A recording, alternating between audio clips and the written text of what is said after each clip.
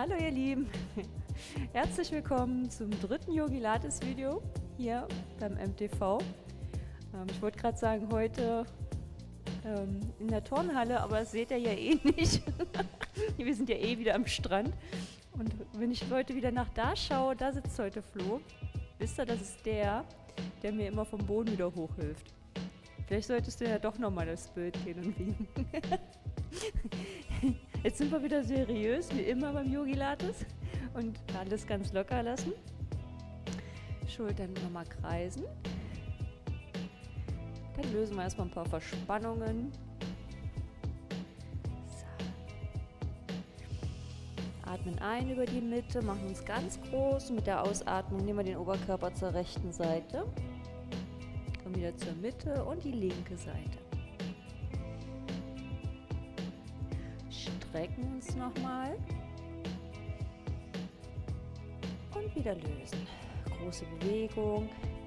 Dann die Füße ein bisschen weiter. Fußspitzen zeigen nach außen. Nimm die Arme mal auf Schulterhöhe und lassen die ganz leicht schwingen. Halten die Spannung. Bauchnabel zieht zur Wirbelsäule. Und einfach nur schwingen.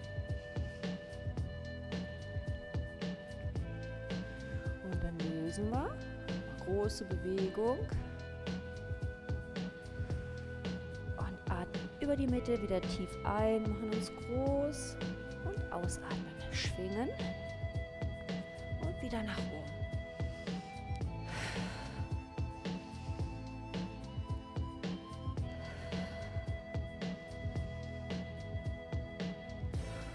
So, locker. Erstmal wieder ganz entspannt die Arme den Oberkörper schwingen.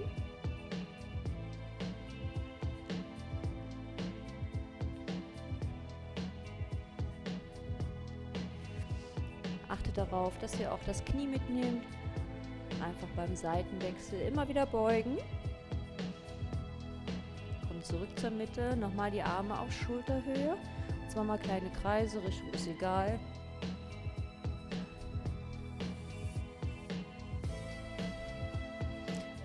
Andere Richtung.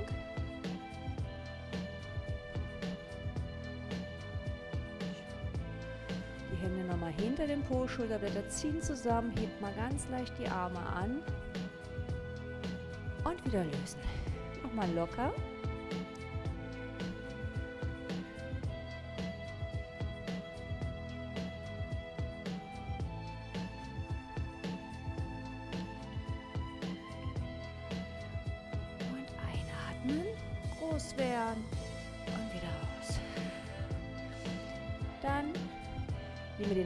Arm zur Seite, linke Hand ist hier an der Brust, schieben uns zurück, als ob wir einen Bogen haben, wir auf, also spannen wollen. Einatmen und ausatmen. Komm ein bisschen tiefer.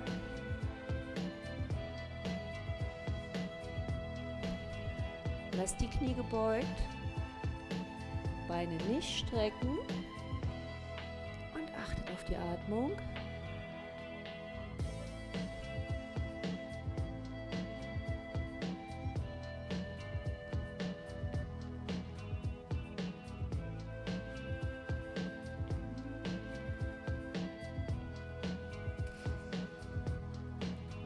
Einmal die linke Seite.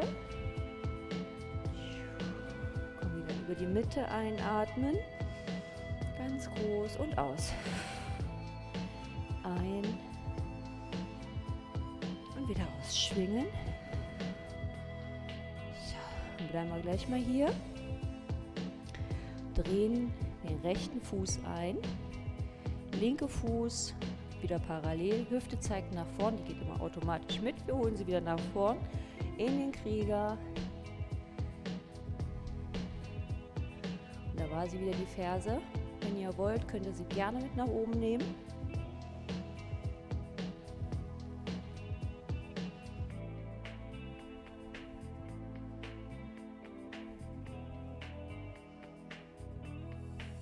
Ferse wieder nach unten, die Hände greifen nach hinten schließen und komme hier zur Hüfte, da wo jetzt gerade das Mikro ist.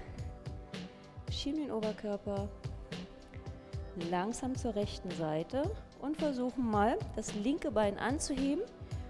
Die linke Schulter weiter Richtung Rücken. Halte. So. Das ist wieder der Vorführeffekt. Will nicht. Hoch und halten.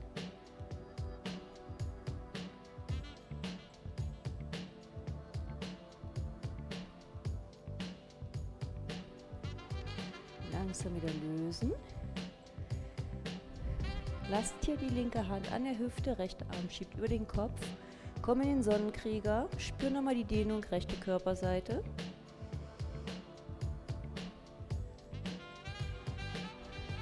Und schließen die Hände. Schieben den Oberkörper nochmal zur rechten Seite und halten.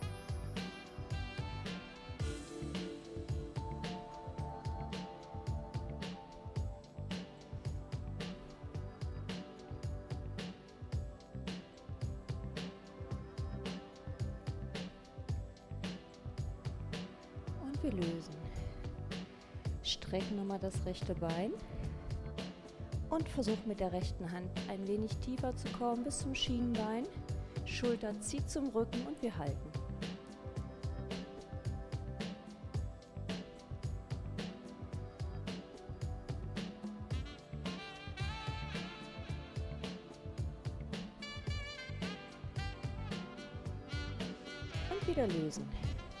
Drehen den rechten Fuß ein, linke geht nach außen, beugen schon mal das linke Knie, holen die Hüfte wieder nach vorn. Und Ferse hoch, wer mag.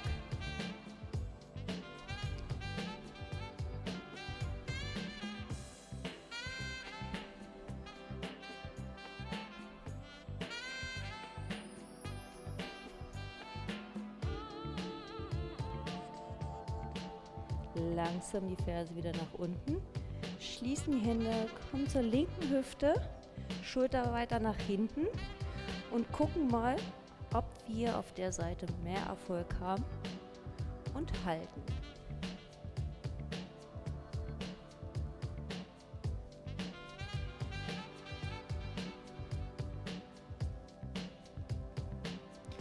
Jawohl, das ist heute die Schokoladenseite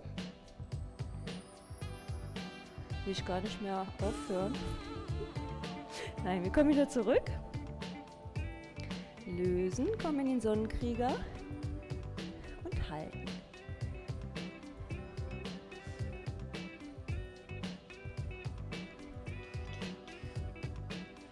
Bring die andere Hand wieder nach oben, schließen und ziehen den Oberkörper nochmal zur linken Seite. Halten.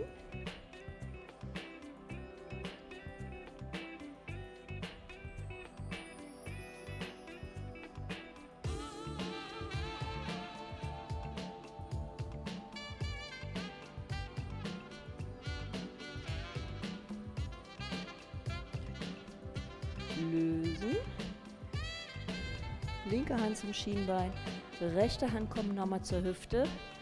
Denken an die Schulter, schieben die weiter zum Rücken und bleiben.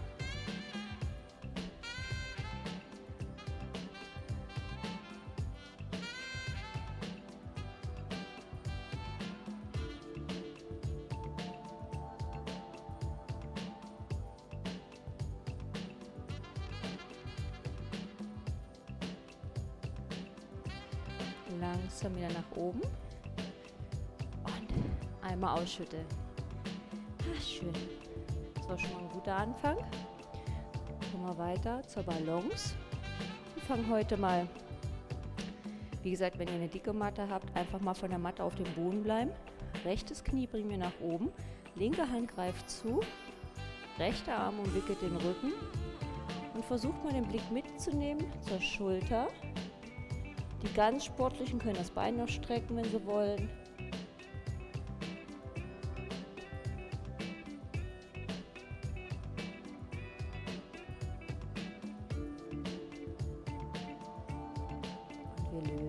Wechseln nochmal. Schauen zur linken Schulter.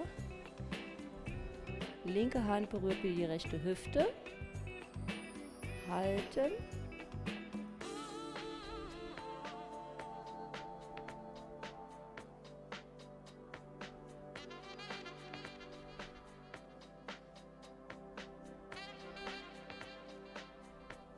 Und wieder lösen.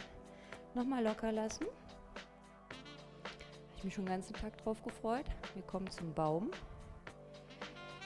Option, wenn ihr einen Wackeltag habt, bleibt er wieder unten. Am liebsten wäre es mir natürlich, wenn der Fuß Oberschenkel Innenseite ist. Das Knie zeigt nach außen, der Bauch ist fest. Und wir öffnen. Schulterblätter ziehen zusammen, halte und ruhig ein- und ausatmen.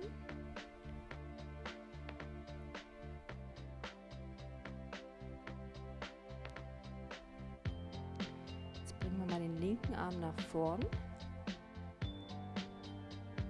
Das ist eine blöde Übung. Die klappt jetzt bestimmt nicht. Wir schauen jetzt mal zur rechten Seite. Versuchen die Ballons weiterzuhalten.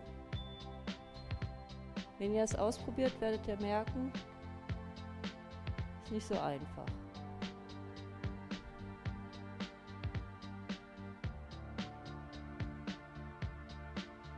Dann wieder zurück bleiben im Baum.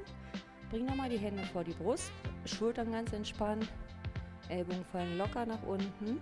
Wir pressen heute auch nicht mit den Händen zusammen, sondern atmen nur einmal ruhig ein und noch langsamer wieder aus.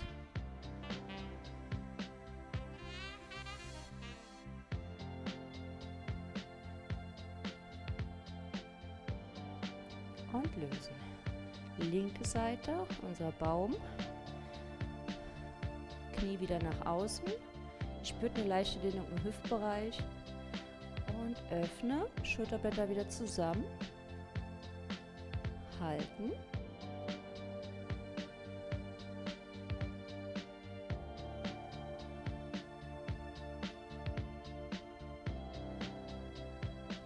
Rechter Arm kommt nach vorn. Linke bleibt auf Schulterhöhe. Und hier versuchen wir auch mal den Blick mitzunehmen zur linken Seite.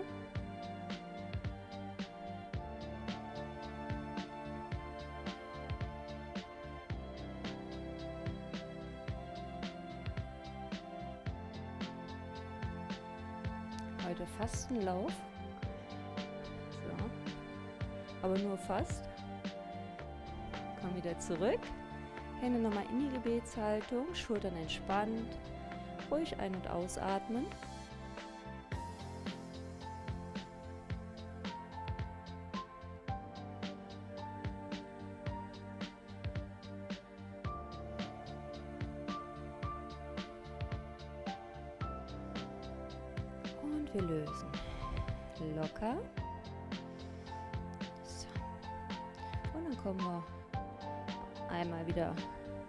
Wir das lange Stück der Matte vor uns haben. Schulterbreiter Stand, der Bauch bleibt fest. Atmen ein. Und mit der Ausatmung kommen wir in die Vorbeuge. Heben den Po leicht an. Immer, da löst sich dann das Mikro auf. Kommen in die Vierfüßlerpose. So. Von da aus in die Katze in die Kuh.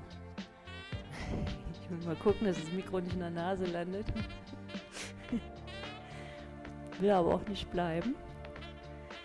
So, dann bringen wir mal die Unterarme auf den Boden, stellen hinten die Füße ab und heben den Po an und halten. Ist auch gerade gut, wenn ihr Schulterprobleme habt, dass ihr dann nicht in den herabschauenden Hund kommt.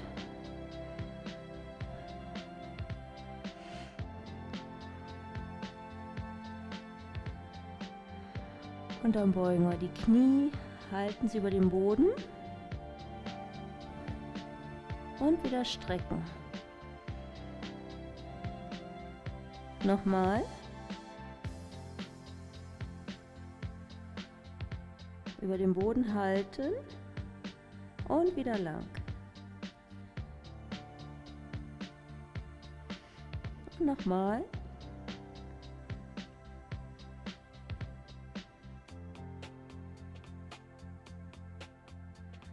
Kommen mit den Knien auf die Matte, schieben uns nach oben.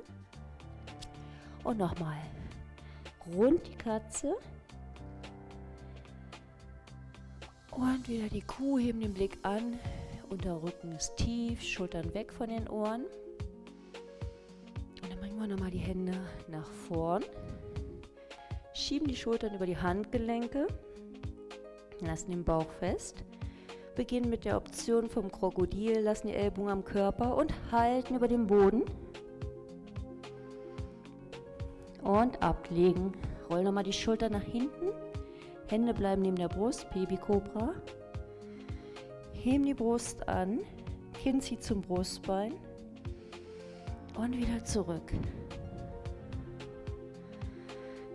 Schieben uns nach oben,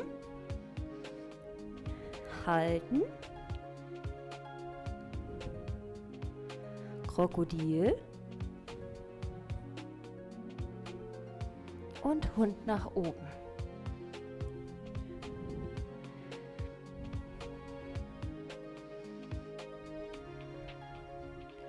Schieben nach oben, hinten die Füße berühren sich knieweit auseinander und kommen in die Kindspose.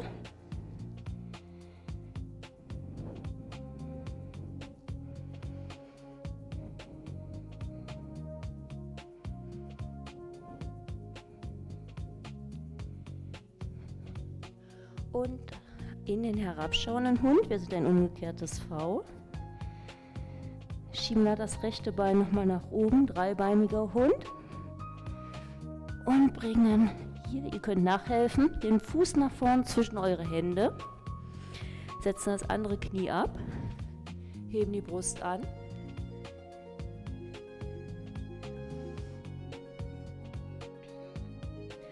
bringt mal den vorderen Fuß ein kleines Stück nach außen und kommt mal auf die Unterarme. Heute übrigens verstärkt den Hüftbereich werden wir machen.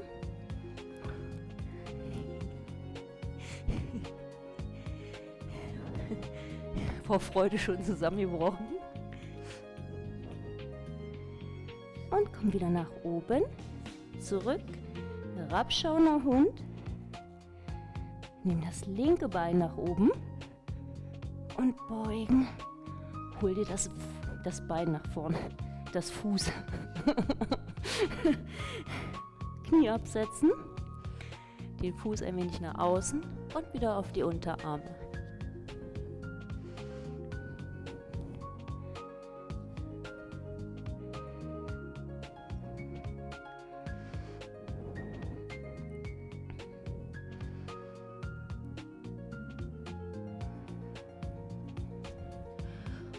Zurück. So. Alles wieder entknotet. Haare liegen. Dann können wir uns auch schon auf den Po setzen.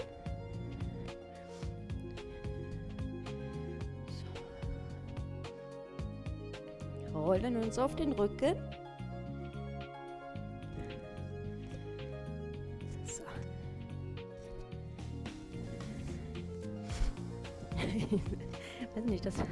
Ich hoffe, das Mikro bleibt jetzt da, wo es gerade ist und schiebt sich nicht in die Nase.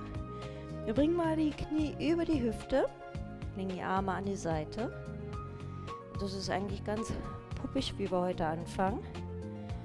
Einatmen mit der Ausatmung, strecken wir das rechte Bein, halten über den Boden. Spannung im Bauch und wieder zurück. Einatmen, ausatmen ein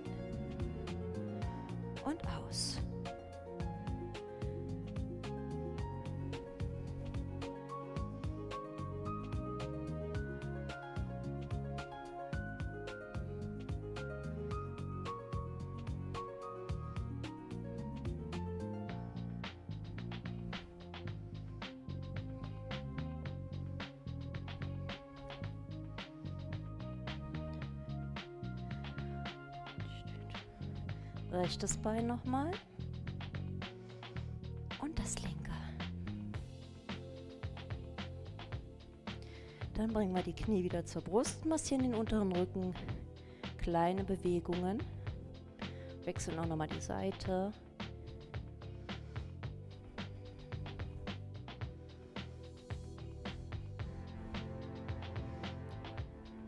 Bringen die Knie wieder über die Hüfte. Und Arme liegen am Körper. Ist egal, mit welchem Fuß ihr anfangt. Einfach mit der Fußspitze tippen wir. Spannung im Bauch. Halten und ziehen uns zweimal mit den Armen an der Seite nach oben. Dann tippen wir wieder.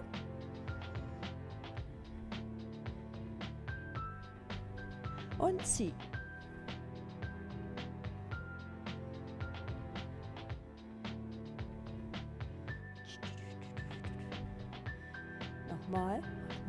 Spaß.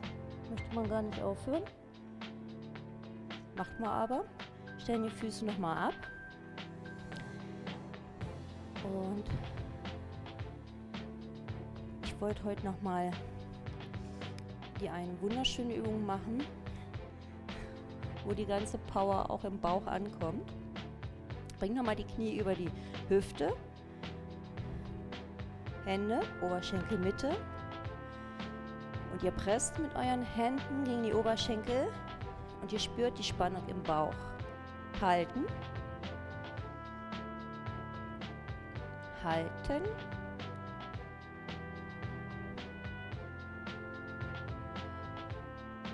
Und löse.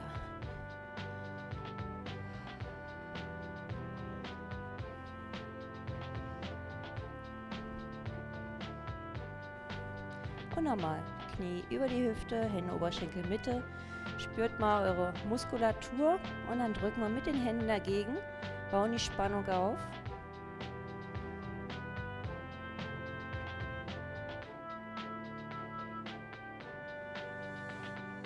Und lösen.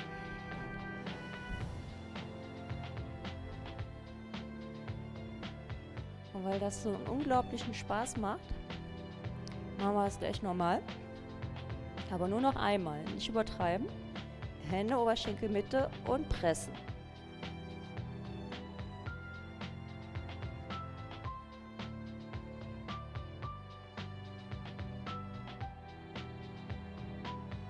Und wieder lösen. Massieren nochmal. Atmen nicht vergessen.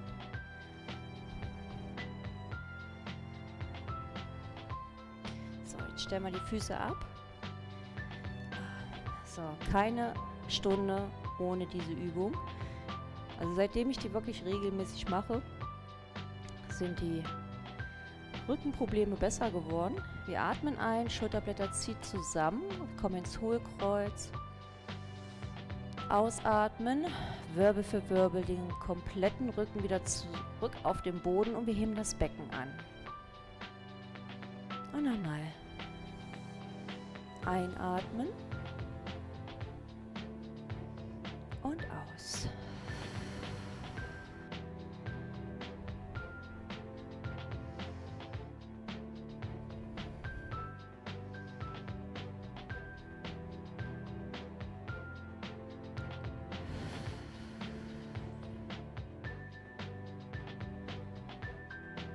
Und noch einmal.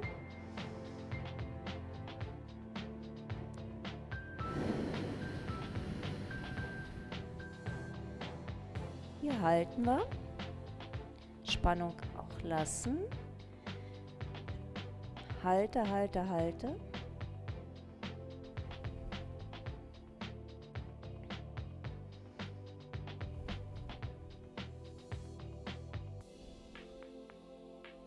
Noch zehn Minuten.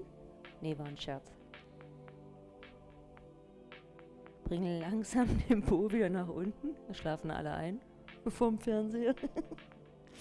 oh, ich habe euch etwas ganz Tolles mitgebracht. Also ich fand das vorhin noch ganz toll. Ich weiß nicht, ob es jetzt noch so toll ist. Rollen uns erstmal auf den Bauch. Fangen mit dem Puppigen an. So. Die Sphinx-Pose ist auch ein Träumchen für den Rücken. Ihr bringt die Arme nach vorn, Ellbogen bleibt unter der Schulter und ihr schiebt euch nach oben. Die Schultern bleiben auch tief, nicht den Kopf zwischen die Schultern, also nicht die Schildkröte machen, sondern die Sphinx. Beine bleiben lang Und dann heben wir nur die Beine an. Wir spüren jetzt nur den unteren Rücken, angenehm und halten.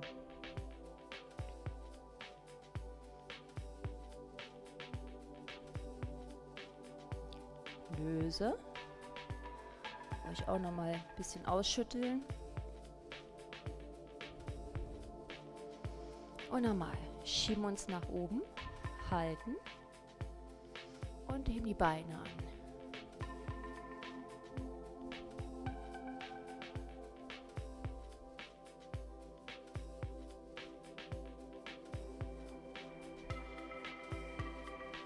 Wieder lösen.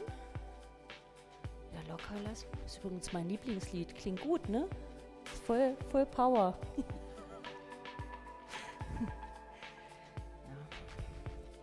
Und noch einmal. Halte. Denk an deine Schultern.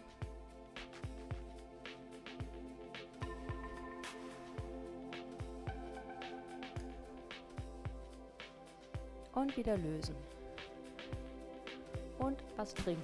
Trinken ist auch immer gut.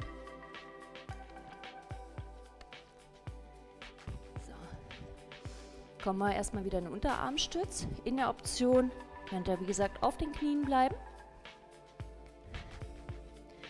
Da macht das bloß keinen Spaß. Versucht einfach nochmal die Knie hochzunehmen und zu halten.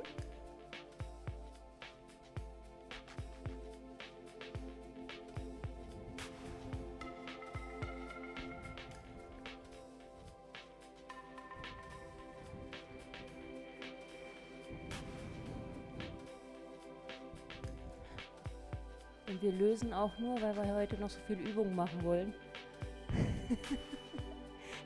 Komm nach oben.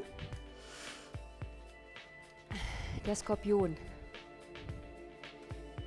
Klingt gut. Aber nur zum Eingewöhnen machen wir den heute. Wir beginnen am Vierfüßlerstand. Nehmt mal das rechte Bein nach oben. Das Knie ist gebeugt, das ist der Stachel vom Skorpion. Die Hände kommen ein kleines Stück weit nach vorn. Ihr schiebt die Schultern über die Handgelenke. Am Anfang einfach ein Handtuch hinlegen, weil Ellbogen am Körper bleiben und ihr euch wieder hochziehen müsst. Es ist richtig, wenn es anstrengend ist. Einfach ist es, wenn man die Ellbogen nach außen nimmt. Das macht ihr natürlich nicht. Nochmal tief und wieder hoch. Oh, ich hätte ganz vergessen, wie anstrengend das ist. So, jetzt hat man die rechte Seite. Machen wir nur einmal die linke Seite. Komm. Vierfüßlerstand, linkes Bein nach oben. Wir beugen das Knie, bringen die Hände ein Stück nach vorn und lassen, egal was passiert, die Ellbogen am Körper. Tief und wieder hoch. Ich könnte es jetzt nochmal probieren. Wenn ich auf die Nase fliege. Naja, wird ein lustiges Video. Und tief und wieder hoch. Und wir bleiben. Und heute wollte ich schon unbedingt mit euch den Schwan machen. Und zwar bringt ihr das rechte Bein nach vorn. Linkes Knie ist gebeugt daneben. Das macht das trotzdem nochmal zur Seite. Ihr legt das Bein gerade vor euch hin und dreht dann die Hüfte so, dass der Hüftknochen an der Ferse landet und kommt ganz entspannt mit den Unterarmen auf den Boden. Es gibt hier verschiedene Varianten. Das ist erstmal die angenehme.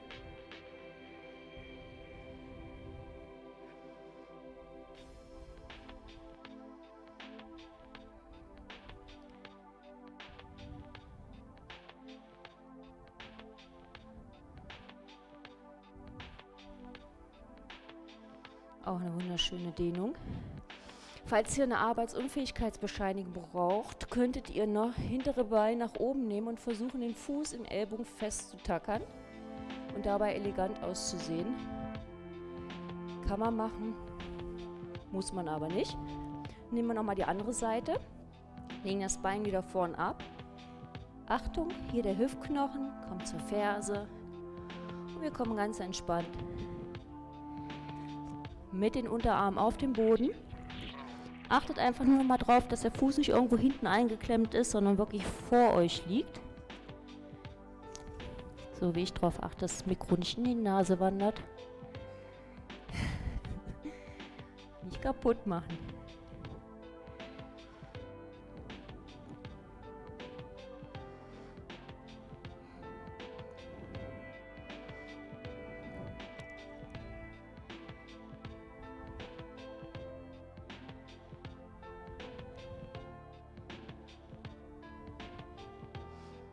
Also wenn jemand sportlich ist, könnt ihr jetzt nach oben kommen, den hinteren Fuß einklemmen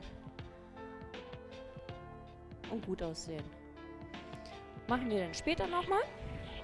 Rollen uns jetzt nochmal auf den Rücken, nehmen das rechte Bein mit nach oben und pushen vorsichtig das gestreckte Bein zum Oberkörper.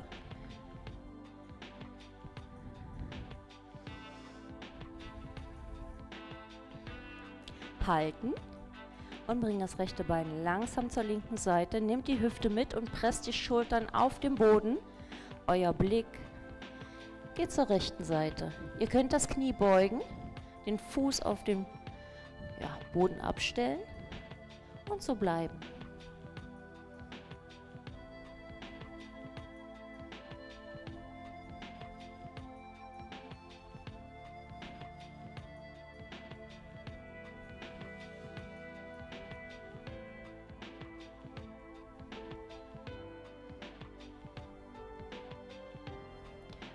Wieder zurück. Nimm das linke Bein nach oben, strecken und ganz vorsichtig pushen. Hände, Oberschenkel, bitte nicht in die Kniebeuge greifen. Und ganz kleine Bewegung.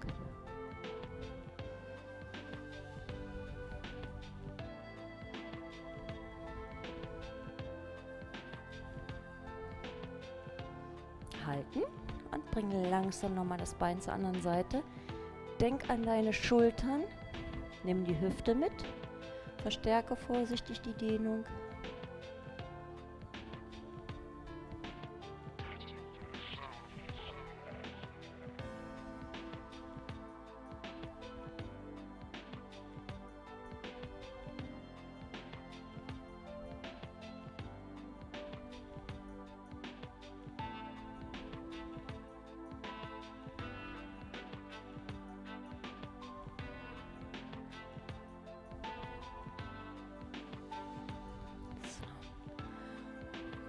Zurück zur Mitte, rollen uns nach oben und drehen uns nach vorn. Extra Haare gewaschen für heute. Fürs Video sieht man das? Ja, muss nicht nett sein. Schon okay. Das ist jetzt alles wieder kaputt. Bauch bleibt fest, Schultern sind ganz entspannt und wir kommen nochmal auf die Unterarme nach vorn. Lassen uns mal richtig hängen.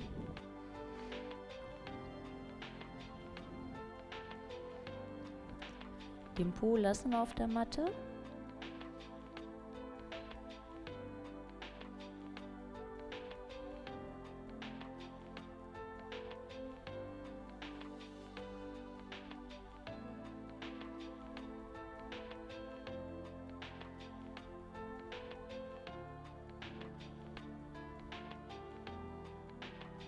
und rollen langsam wieder nach oben.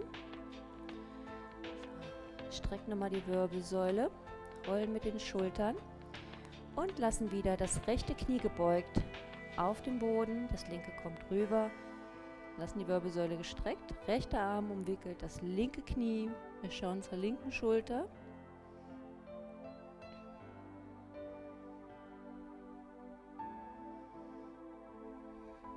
Ihr könntet auch nochmal mit dem Ellbogen gegen das Knie drücken, nochmal die Dehnung verstärken, den Oberkörper weiter nach hinten drehen.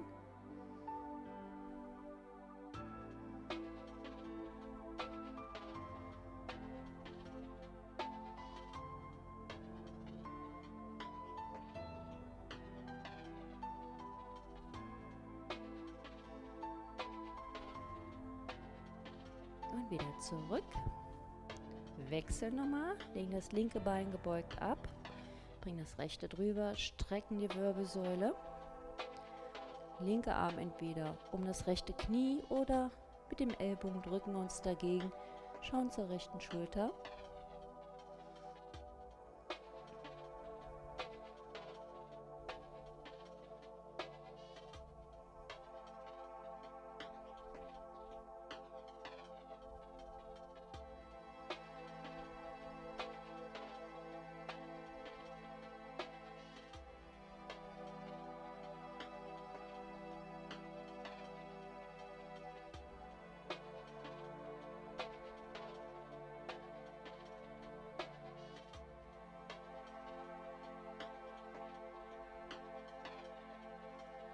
Wieder lösen. Wieder ganz entspannter Schneidersitz. Mal ganz locker. Lassen die Hände wieder ganz entspannt auf den Knien liegen. Liegen, nicht liegen, liegen. Schultern sind entspannt. Atme nochmal tief ein und bring den Kopf ganz langsam zur rechten Seite. Schauen über die Schulter, so weit wie möglich. Und komm wieder zurück zur Mitte. Und schauen über die linke Schulter.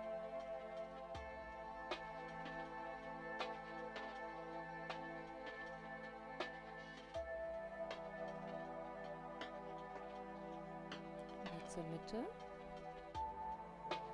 Nochmal. Blick über die rechte Schulter. Versuch noch weiter hinter den Rücken zu schauen als beim ersten Mal. Und wieder nach vorn. Linke Seite.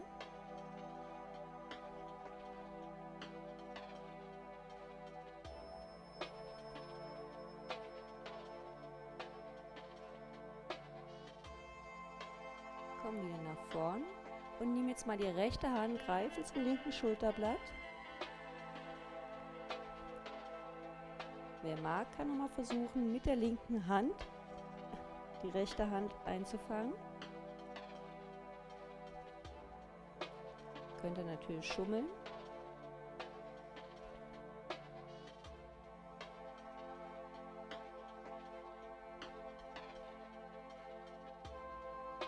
Und wir lösen. Atmen ein, linke Hand zum rechten Schulterblatt. Könnt so halten oder versucht nochmal hinter den Rücken, dass die Fingerspitzen sich berühren.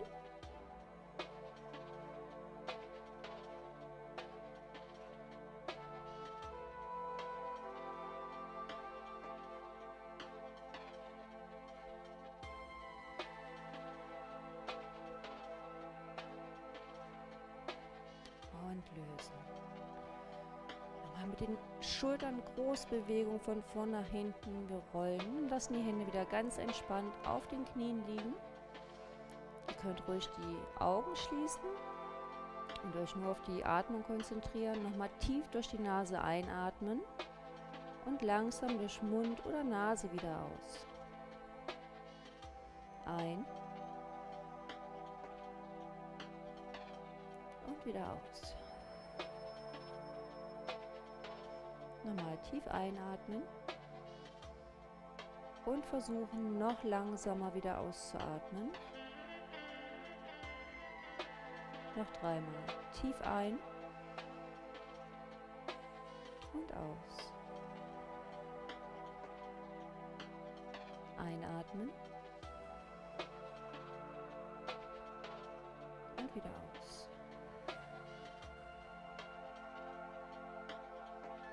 Ein letztes Mal. Tief ein. Und wieder aus. Dankeschön, ihr Lieben. Dann wünsche ich euch noch eine schöne Woche. Wir sehen uns nächste Woche wieder und dann bringe ich den Frosch mit.